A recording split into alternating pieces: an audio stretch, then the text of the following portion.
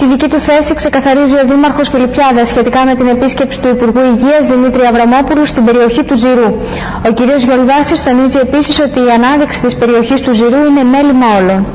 Την δική του εκδοχή δίνει ο Δήμαρχος Φιλιππιάδας Δημήτρης Γιολδάσης απαντώντας έτσι και στον ομάρχη Πρέβεζας Βασίλη Ιωάννου. Ο κ. Γιολδάσης δήλωσε πως η επίσκεψη του Υπουργού Υγείας Δημήτρη Αβραμόπουλου στο Ζηρό πραγματοποιήθηκε χωρίς υπετιότητα εκ μέρους τους από τη δική του πλευρά έχοντας σαν στόχο την προσωπική εκτίμηση του Υπουργού για ένα ζήτημα που αφορά και που συνδέεται η ανάδειξή του και από το Υπουργείο Υγείας. Το θέμα ας πούμε, το μεγάλο που εμείς θέλαμε να αναδείξουμε είναι ο Ζηρός ο Ζηρός από το 2003 και μετά υπάγεται στο Υπουργείο Υγείας και μιλάμε για το συγκεκριμένο κομμάτι τα 100 στρέμματα που εκεί μέσα υπάρχουν οι εγκαταστάσεις της Πεδόπολης. Ε, ενθουσιάστηκε ο Υπουργός, το ξέρετε όλοι σας, το μέρος είναι πανέμορφο. Ε, να πω ας πούμε ότι πραγματικά γιατί και πανοραμικά το είδε από τη μεριά που υπάρχει το κέντρο είδε τη λίμνη και αρκετή ώρα από κοντά από διάφορα σημεία και συζητήσαμε για την προοπτική.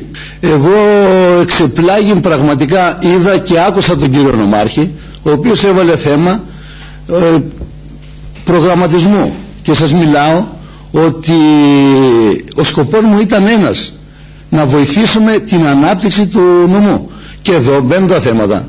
Μια και αναφέρθηκε ο κ. Μαρισχή, είμαι υποχρεωμένος να απαντήσω. Εγώ δεν ήθελα καν να μπω σε τέτοια, να βάλω το θέμα σε αυτή τη συζήτηση. Γιατί όπως σας είπα και πριν, το ότι επισκέφθηκε ο Υπουργός Υγείας τον Ζηρό, από μόνο του είναι μεγάλο γεγονός. Είναι ο καθήλυνα αρμόδιος υπουργός. Αυτή την ώρα οτιδήποτε θα κάνουμε πρέπει να να, να ξεκινήσουμε από το Υπουργείο Υγείας. Είδε, σημαντικό συγγνώμη, είδε και έχει τις καλύτερες εντυπώσεις. 25 χρόνια τώρα μένει η κατάσταση και το ζητούμενο είναι πώς θα βρούμε κάποιον καινούριο δρόμο. Ο λόγος για τον οποίο έγινε η Πεδόπολης από το, ε, μέχρι το, από το 85 και μετά έχει σταματήσει να υπάρχει.